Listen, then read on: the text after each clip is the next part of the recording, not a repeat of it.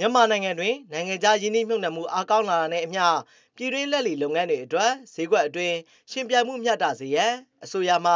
ချီးငွေရရှိမှုဆိုင်ရာဗန်လုံထုံးလုပ်နေမူဝါဒများ ဖြည့်လျှော့ပေးရန် လိုအပ်ပြီး အိန္ဒိချင်းနိုင်ငံတွေရဲ့ လက်လီဈေးကွက်တွေပေါ် လေ့လာ၍ပံ့ပိုးကူညီပေးဖို့ လိုအပ်နေတယ်လို့ မြန်မာနိုင်ငံ လက်လီရောင်းချသူများအသင်းထံမှ သိရပါတယ် 90%ဒါ modern ဒီ traditional trade 10% modern trade လို့ပြောတဲ့အချိန်မှာကျွန်တော်တို့ value contribution အရာပြောတာကျွန်တော်တို့တိုင်းပြည်မှာဒါ retail sector ရဲ့ contribution 12ဒီ12 billion ပေါ့ US dollar နဲ့တွက်မယ်ဆိုရင်12 billion လောက်ရှိတယ် percentage နဲ့ဆိုရင် GDP contribution က15 to 17%ရှိတယ်လို့ကျွန်တော်ခန့်မှန်းထားတာရှိတယ်အဲ့တော့တခြားနိုင်ငံတွေနဲ့ကြည့်မယ်ဥပမာ Thailand ဆိုလို့ရှိရင်သူ့ရဲ့ဒီ retail sector contribution 30%လောက်ရှိတယ်ဒါကောင်မှ Vietnam ဆိုရင်လည်း25%ကျော်လာပြီပေါ့ အဲ့တော့ကျွန်တော်ကနှိုင်းရှင်စရာဆိုလို့ရှိရင်ကိုကဒီ contribution နေတယ်ဆိုနေသေးတယ်ဆိုတဲ့အတွက်စားသုံးသူတွေရဲ့ဒီခုနစားသုံးမှုပမာဏကျန်တဲ့တိုင်းပြည်တွေနဲ့ဆင်ဆို per capita consumption မှာကိုက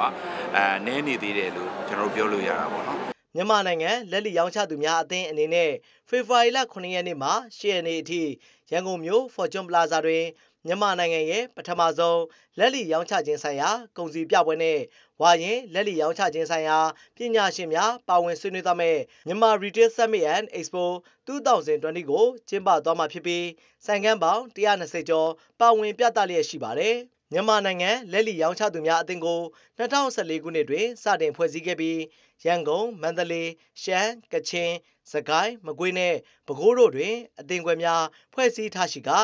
လက်လီရောင်းချသူလုပ်ငန်းရှင်စုစုပေါင်း2000ကျော်ခန့်ပါဝင်တယ်လို့သိရပါတယ်။ဒီ local လုပ်ငန်းရှင်တွေကိုနိုင်ငံတော်အနေနဲ့ပံ့ပိုးမှုတွေအများကြီးပေးဖို့လိုအပ်တယ်လို့ကျွန်တော်တို့ထင်ပါတယ်။ဥပမာအဖြစ်ကျွန်တော်တို့ဒီနိုင်ငံခြားကုမ္ပဏီတစ်ခုက သူတို့ရဲ့တိုင်းပြည်မှာပေါ့နော်ချင်းငွေကိုအတိုးသက်သက်သာသာနဲ့ရရှိနိုင်တယ်အဲ့ဒီလိုမျိုးပဲကျွန်တော်တို့ဒီ local လုပ်ငန်းရှင်တွေအနေနဲ့လည်းဒီချင်းငွေကိုအတိုးသက်သက်သာသာနဲ့ရရှိနိုင်မယ်ဆိုလို့ရှိရင်ကျွန်တော်တို့ကဒါတူညီတဲ့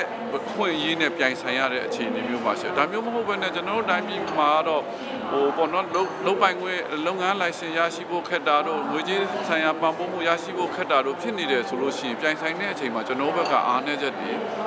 ကြုံတွေ့နိုင်ရပါတယ်အဲ့လိုမျိုးအချိန်ကြာလို့ရှိရင်တော့ကျွန်တော်တို့ပြိုင်ဆိုင်ရတာဟိုဘယ်လိုခေါ်မလဲ fair မဖြစ်ဘူးလို့ကျွန်တော်တို့ဘက်ကတော့မြင်ပါတယ်ဗျမြန်မာနိုင်ငံလက်လီရောင်းချသူများအသင်းအနေနဲ့လက်ရှိတွင်အာရှပစိဖိတ်ဒေသတွင်နိုင်ငံတွေရှိလက်လီရောင်းချသူများအသင်းတွင်ပါဝင်ထားပြီးအင်ရှင်နိုင်ငံအဖြစ်လက်ခံကျင်းပရန်ရည်ရွယ်ထားကာ